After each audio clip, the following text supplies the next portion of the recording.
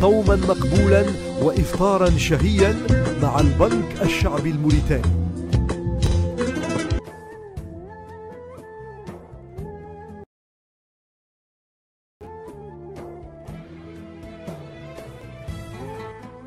مشاهدينا الكرام السلام عليكم ورحمة الله تعالى وبركاته. وأهلا وسهلا ومرحبا بكم في حلقة جديدة من برنامج الفطور. باسمكم جميعا نرحب بضيف هذه الحلقة خالد عالة مولاي إدريس. ونقول لكم قبل أن نبدأ في متعلقات هذه الحلقة تقبل الله صيامنا وصيامكم وقيامنا وقيامكم وضاعف لنا ولكم الأجر. إذا نرحب باسمكم جميعا بضيفنا الذي يرحب هو بنا أيضا في بيته. نقدم ضيفنا باختصار كما هي العادة في هذا البرنامج.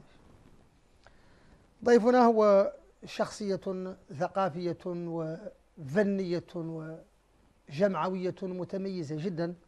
هو خالد عالم ولا إدريس أستاذ متخصص في علم النفس التربوي وخبير في التطبيقات المتعلقة بذوي الاحتياجات الخاصة.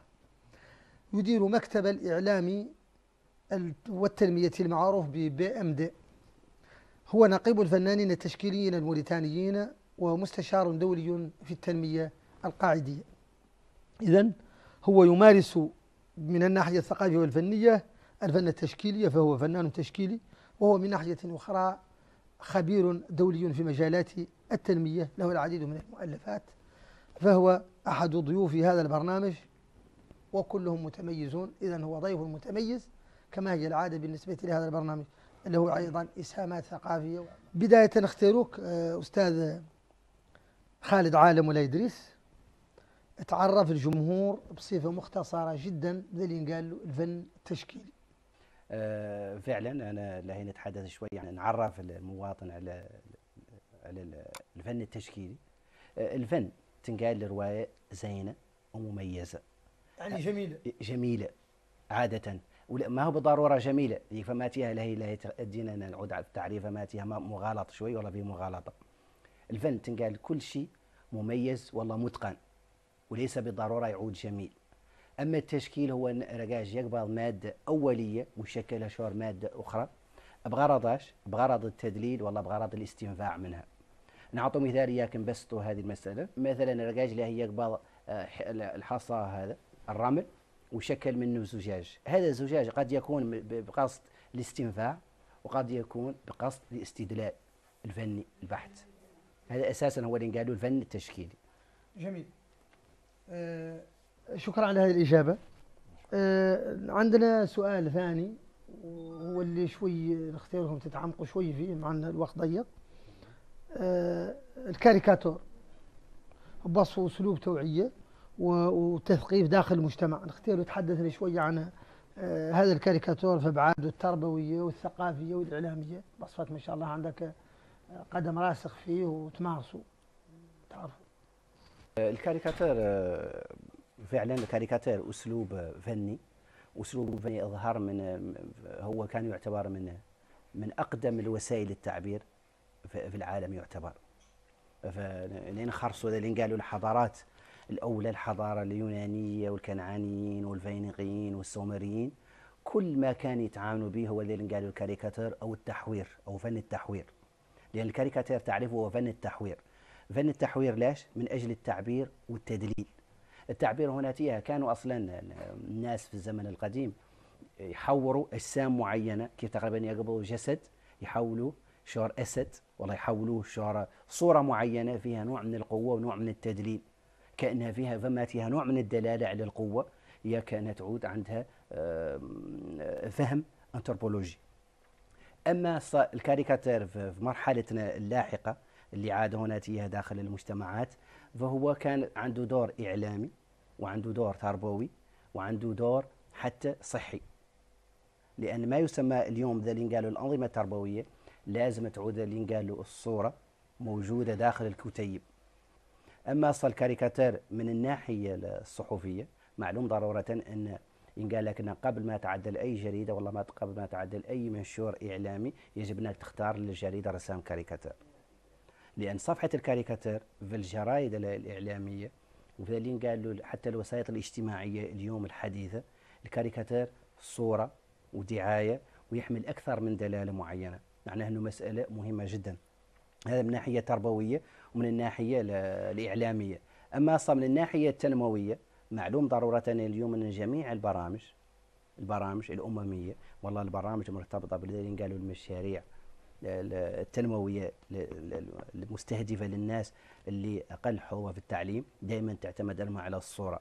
هذه الصورة قد تعود صورة آه، مجسدة والله صورة مليئة على شكل كاريكاتورية لأنها تعود فيها رسائل توعوية وتثقيفية للإنسان العادي اللي قد يعود النص والله اللغة تعود حاجز معرفي عنده بينما الصورة تعود أكثر وأسرع أنها توصل له. شكرا أستاذ خالد.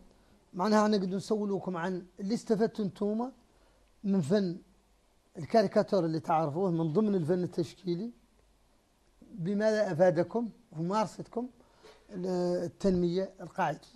أه شكرا أستاذ الأمجد على هذا السؤال المهم. طبعا أنا كأستاذ متخصص في علم النفس التربوي استفدت من من تكويني الأكاديمي على كيفية صياغة وكيفية تجسيد الصورة. وكيفية تجسيد الصورة اللي فعلا تمس المواطن الموريتاني العادي خصوصا ما يسمى بالتنمية خصوصا ما يسمى بالتنمية القاعدية. لأن الصورة يجب أن تعود انعكاس وتعبير عن واقع الإنسان اليومي. سواء صار الواقع المرتبط بالتنمية وسواء الواقع المرتبط بالنوازل الأخرى كالحالات المجتمعية وكالاختلالات الموجودة داخل المجتمع. لأن رسالة الكاريكاتير ورسالة الصورة التجسيدية أساسا هو نوع من التعبير ونوع من تسليط الضوء على خلل معين والله على تغيير عقليات معينة داخل النظام والله النسيج المجتمعي.